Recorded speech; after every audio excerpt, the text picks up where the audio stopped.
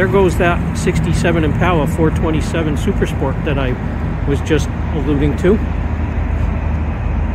I believe that car is going to be in vintage certification.